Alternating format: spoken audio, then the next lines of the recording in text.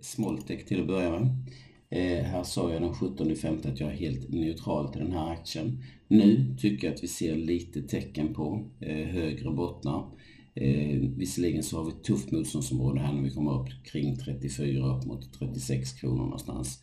Men jag tycker ändå att riktningen är svagt, svagt, svagt positiv. Jag är neutral men jag tycker ändå att jag ser tendenser till något lite positivt.